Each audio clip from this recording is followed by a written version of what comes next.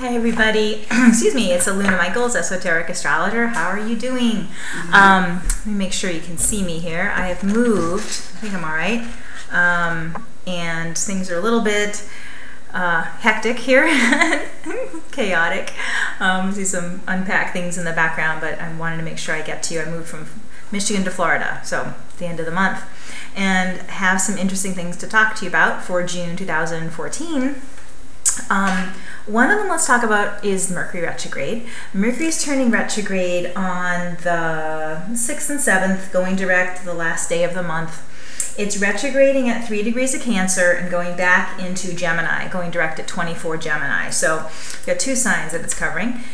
And um, I think because it's going to retrograde in Gemini, a lot of people have been feeling really obsessive and worrisome because you know Mercury does not like to retrograde in Gemini, maybe least of anything.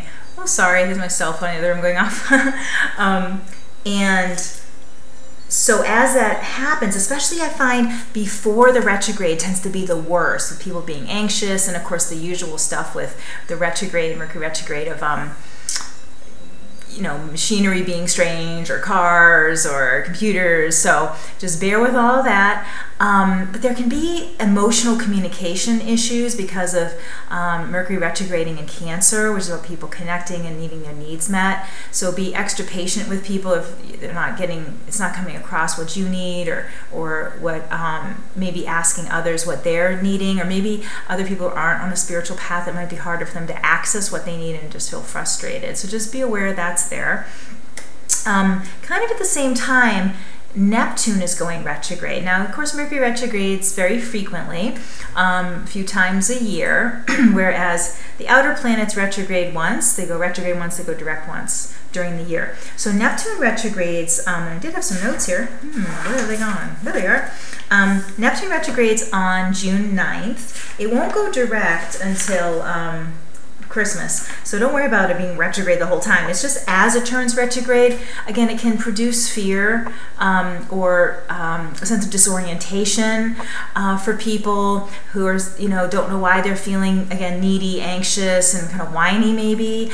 Um, but it's a great time for spiritual focus, um, for meditation, even for art, music, if you have those kinds of inclinations, because as Mercury, so Mercury's retrograding at the beginning of Cancer, and um, Neptune's retrograding at the beginning of Pisces. So those are two water signs, and they trine. So it's actually a very interesting, thoughtful, creative time. So if you can get kind of past emotional stuff, and maybe even you know walk in nature or um, have a fountain even in your space, that helps with the water element, or going to the beach.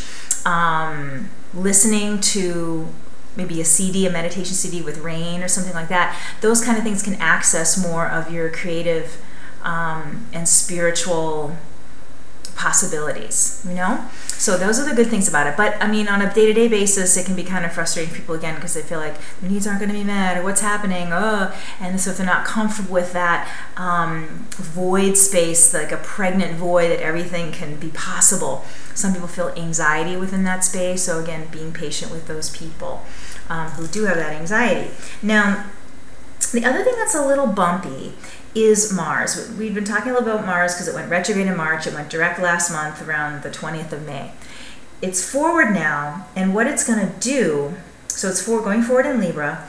This month, it's going to square Pluto in Cancer, excuse me, Capricorn, and oppose Uranus in Aries. So let's talk about the Mars squaring Pluto, which is going to happen um, the 13th and 14th. Yeah, sometimes you get, so that's you can even say like the 12th to the 15th is kind of going on. So Mars is about anger and um, wanting to have immediate results of things.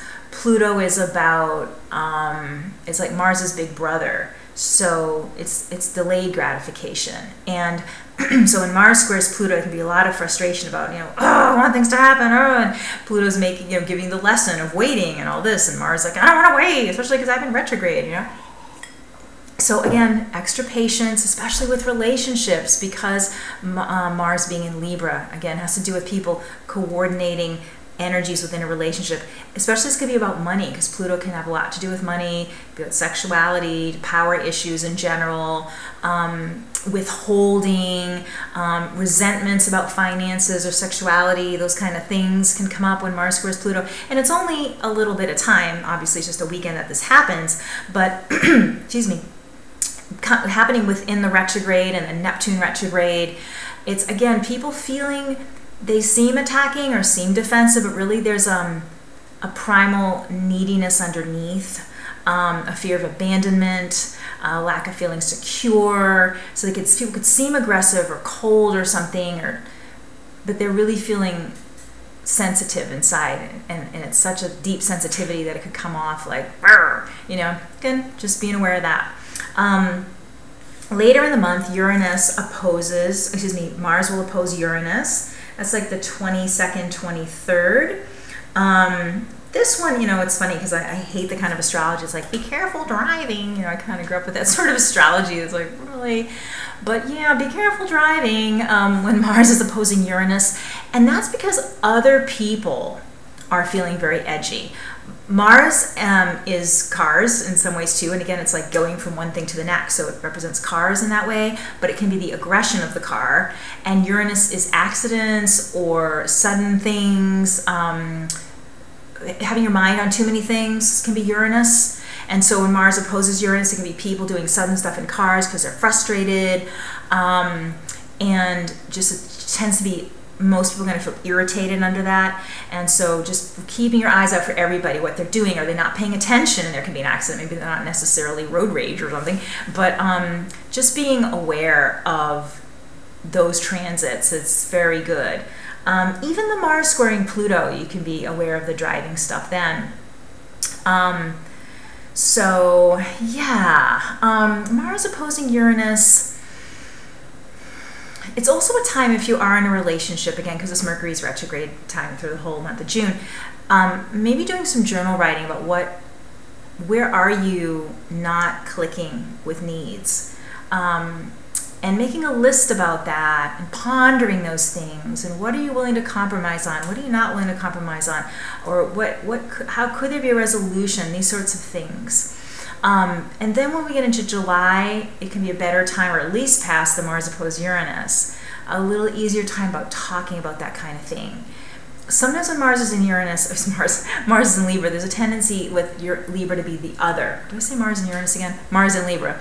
You know, you're doing this to me. I'm not happy because you're doing that. So when you're meditating and thinking, huh, what's my part of it? Or how could I give better um, signals about what I want. I can be more direct because Mars and Libra is very indirect. So, um, and again with Mercury retrograde, just miscommunication. You know, I'm saying this thing, you know, I'm saying tree, and you think I mean oak tree, and I mean little baby bonsai tree, and it's like that's very different.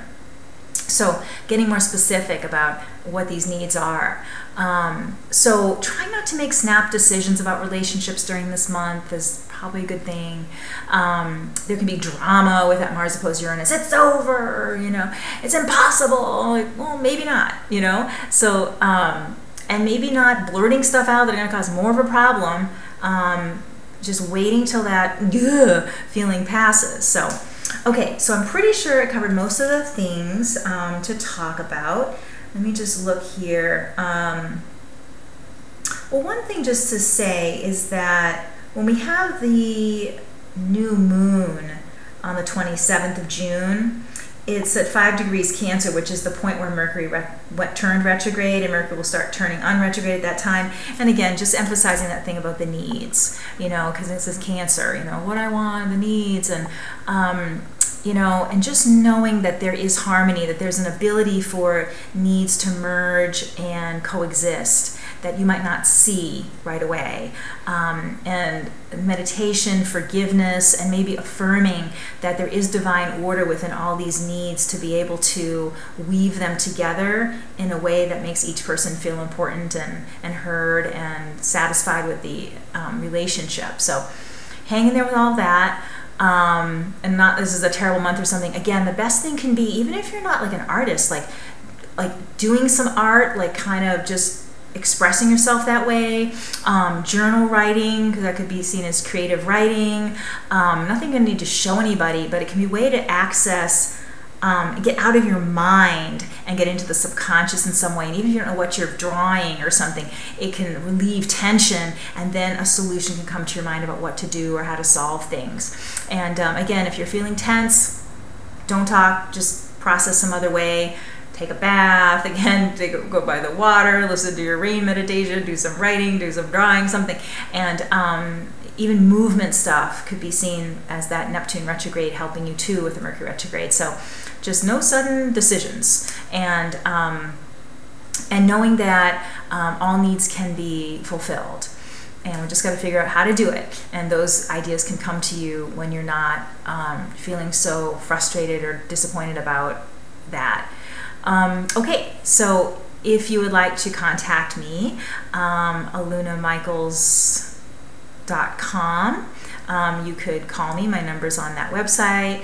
Um, my email isn't working right now because Mercury retrograde, but it should be within a few days. Um, so phone might be the best way to do it the next week or so.